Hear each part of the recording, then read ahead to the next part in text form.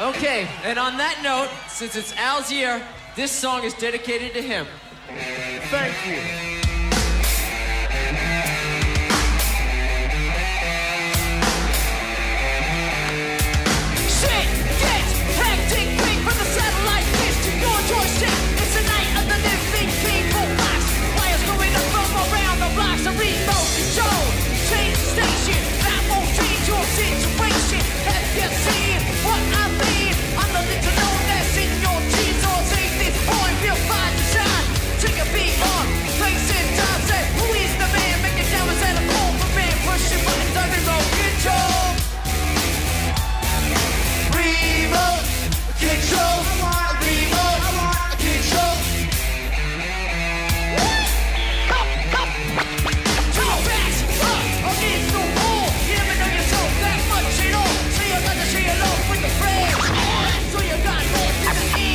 Entonces...